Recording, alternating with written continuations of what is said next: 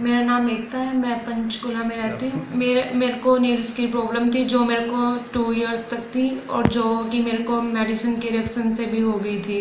उसमें मेरे को मेडिसिन ने कुछ रिएक्शन भी हो गया और काफ़ी टाइम से नेल्स भी नहीं आ रहा था। बहुत ही रेयर चांस हो गए थे कि बिल्कुल उम्मीद भी नहीं थी कि अब ये नेल्स आएगा भी नहीं आएगा। ये बिल्कुल हाफ़ से बिल्कुल हाफ़ ही हो गई जो कि स्किन में अटैच हो गया था बिल्कुल ये लास्ट में।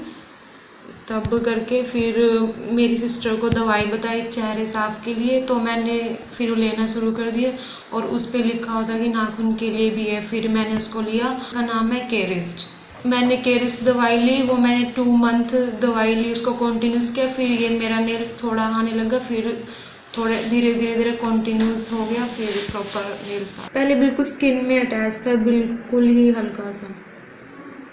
फिर बिल्कुल पूरा हो गया।